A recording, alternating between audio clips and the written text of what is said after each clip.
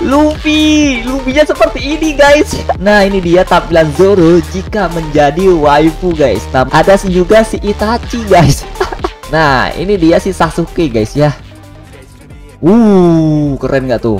Halo guys, selamat datang di Anime Kope. Nah hari ini ada game terbaru nih yang bisa kita mainkan di Playstore Indonesia. Game ini unik banget guys Yang mana di game ini Semua MC-MC anime terkenal Seperti Naruto, Luffy, Goku, Tenjiro Itu dijadikan wanita semua guys Penasaran kan dengan gamenya? Oke, di sini gua akan nge-review secara lengkap ya game ini, mulai dari grafiknya, ukuran game ini, hadiah-hadiah atau gift kodenya, dan juga bahasa di game ini.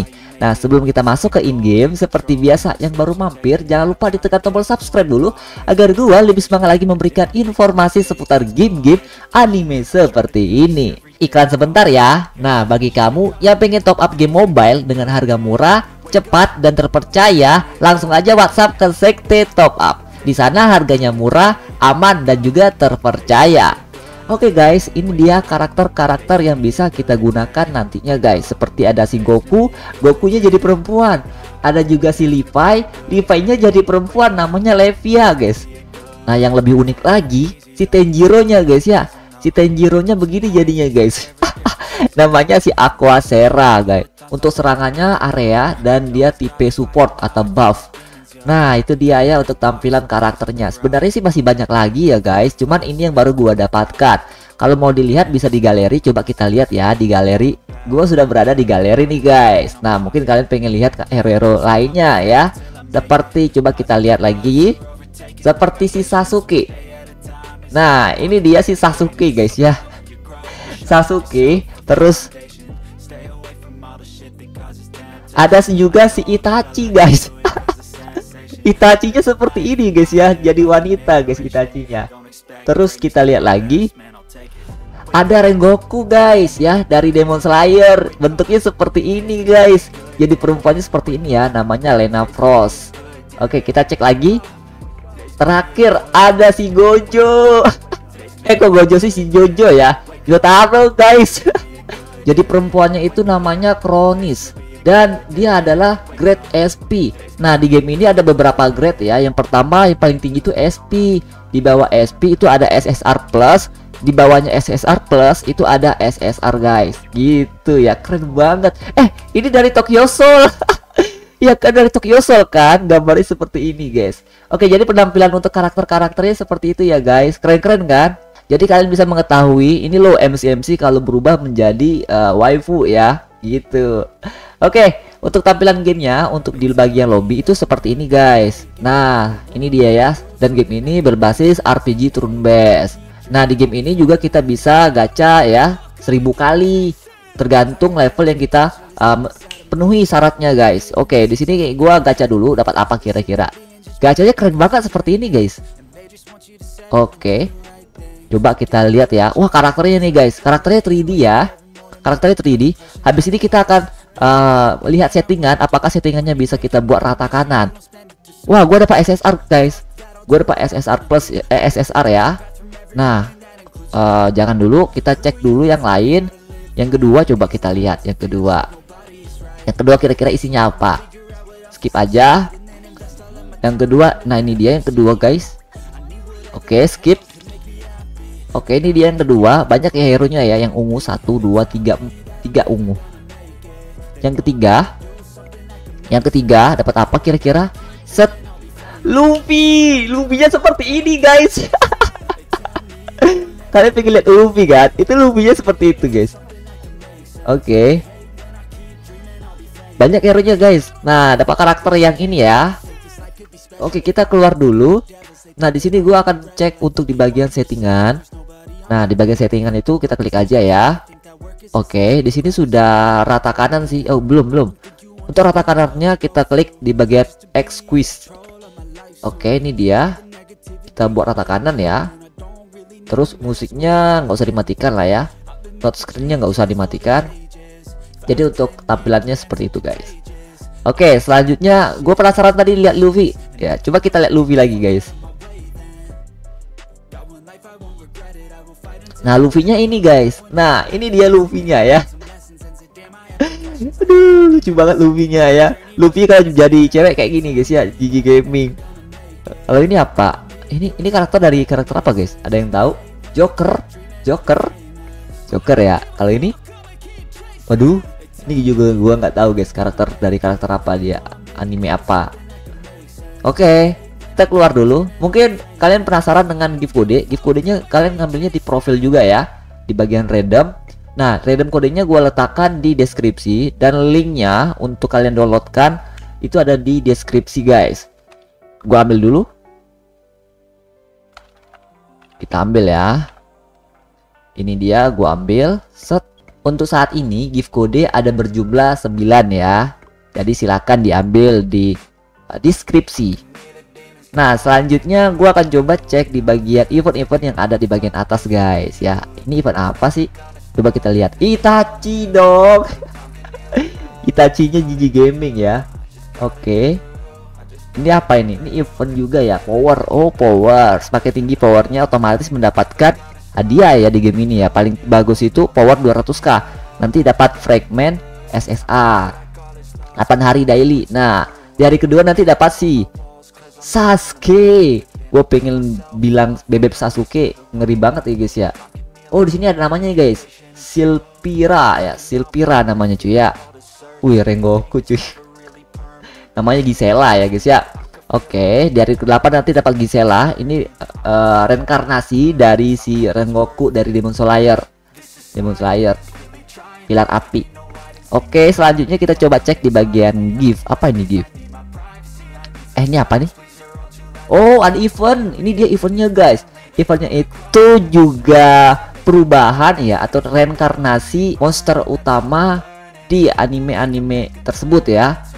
Ini dia MC MC-nya ya. Walaupun MC-nya cowok dijadikan perempuan semua di sini guys. GG oke okay, kita keluar dulu. Ini eventnya guys ya. Jadi kalian bisa coba cek di sini bisa gacha juga karakternya. Gacanya keren ya.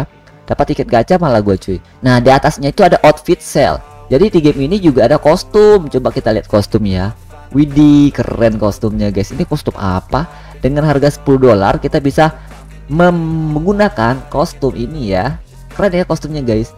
Oke selanjutnya kita coba cek lagi. Gue cek lagi nih di gift. Apa gift? Gift. Nah di gift ini apa ini guys? Coba kita klik ya. Oh ini biasanya tempat fitur kita top up guys. Rata-rata di tempat sini untuk top up semua ya guys tapi gede banget loh dapat diamondnya. Terus kita cek lagi di bawah ada adventure gift. Ini juga bisa kita beli. Cuman sayang guys jangan dulu. Karena mahal banget nih 1800 cek lagi di weekly. Pokoknya free-free aja sih kita ambil ya. Oke absen bulanan. Absen bulannya hari ketiga dapat apa ini? Oke progress untuk item. Dan ini untuk uh, fragment. Di hari kedua dapat fragment ya. Selanjutnya gua akan coba cek di online online gift Nah di online gift itu kalau kita sudah bermain sekitar 2 jam Otomatis mendapatkan hadiahnya yang maksimal seperti tiket 5 biji guys Oh iya penasaran kan dengan gacha di game ini Coba kita gacakan di game ini guys ya Langsung aja kita coba summon Terus kita rekrut ya. Di sini gue dapat 25 tiket gacha. Nah, dari sebagian tiket ini didapatkan dari gift kode. Untuk uh, rantitnya itu berjumlah 90 ya. Gua rantit di game ini 90 biji guys. Kayak OPFP aja. Oke, gua coba dulu ambil. Gacha dulu dapat satu. Satu tuh dua guys. Coba kita cek ya. Semoga oke guys ya. Oke, dapat Luffy. Dapat Luffy. Oke. Apa ini? Wih, geli gua cuy itu kayak Kaneki guys Wah gue dapat Kaneki ya. Dan juga dapat karakter SSR plus yang fragment. Nah fragment seperti Giselle dan juga Carmilla. Wow keren ya guys. Coba kita gacha lagi. 10 kali lagi karena ada free gacha. Oke. Okay. semoga dapat lagi guys. Oh jadi kalau karakter baru yang baru kita dapatkan otomatis uh, seperti ada replay gitu, ada replay dan juga karakternya guys. Gue dapat karakter ini kayak Zoro guys. Ini Zoro kah? Zoro ya keren guys ya. Coba kita lihat sih Zoronya. Gua rasa tadi Zoro sih. Coba lihat. Mana tadi yang kita dapatkan? Bukan. Mana sih Zoronya ini kah? Bukan. Oh, ini dia. Nah, ini dia tampilan Zoro jika menjadi waifu, guys. Nama di game ini Zoronya itu Nora Zorana ya, Zorana. Di AOE dan The Buffer. Gila, Zoronya cantik banget anjir. Kalau Sanjinya belum ketemu, guys, Sanjinya. Kalau Zoronya udah. Oke, begitu aja tampilan dari game ini untuk hero-heronya, untuk gacha, untuk hadiah, fitur-fiturnya ya, guys ya. Nah, untuk hero-nya kalau mau di-up di sini, guys. Mau di-up ya. Di bawah kiri bagian tas sebelah kanan. Nah ini dia untuk tasnya bisa kalian cek. Terus terakhir ada di bagian battle. Nah kalian penasaran kan dengan battlenya? Coba langsung aja kita uh, ke battle. Sebelum ke battle sebelum ke battle kita formasi dulu nih guys. Gue lupa formasinya itu di sini nih uh, ga galeri. Di hero terus di formasi ya. Nah sebenarnya bisa di quick ya. Di quick aja. Tuh di quick aja. Di save nice powernya bertambah gede 93k terus kita langsung ke quest. Langsung aja kita coba gameplaynya nah jadi begini ya untuk tampilannya. Nanti kebuka ketika stack 40 guys. Oke ini dia battlenya. Boom! Keren banget kan? Lawan bos ini tapi easy karena gue memiliki karakter yang OP stack 40 guys nanti kebuka. Oke jadi battlenya seperti ini ya guys ini Gintoki ya. Ini Gintoki nih, mirip bajunya, guys. Oke. Okay.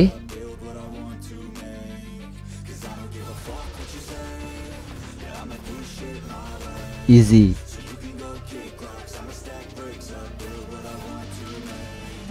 Nice.